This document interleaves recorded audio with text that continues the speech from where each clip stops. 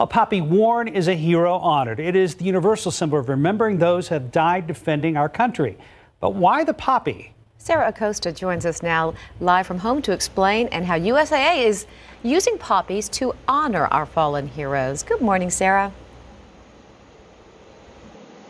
Good morning. And I, I wondered the same thing, but after talking to the vice president of USAA, he beautifully explained to me how the poppy is used as a symbol of significance, of remembrance. So back in World War I, an Army Canadian doctor buried his friend in Flanders Field and he wrote a poem about it. Well, that poem has since become very famous. The author wrote about how poppies blow among the many rows of the crosses when he was burying his friend. Now that poppy is known as a symbol of remembrance worldwide. It's through those poppies that USAA has honored fallen heroes on Memorial Day for the past two years through a temporary poppy wall of honor installation on the National Mall near the Korean Way.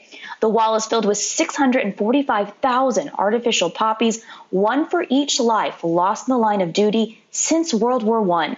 But because of the coronavirus pandemic, that event will be virtual this year. We as a country need to show how much we respect that and how much we value those that give up their lives for us. So it goes to our national character, and it's critically important that we take yet but one day a year to remember those fallen.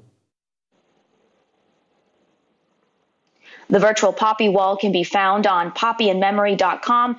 Now, you are also encouraged to share what Memorial Day means to you on social media using the hashtag honor through action. And USAA um, is just really encouraging for you to get on social media and talk about the importance of Memorial Day using that hashtag honor through action throughout the weekend.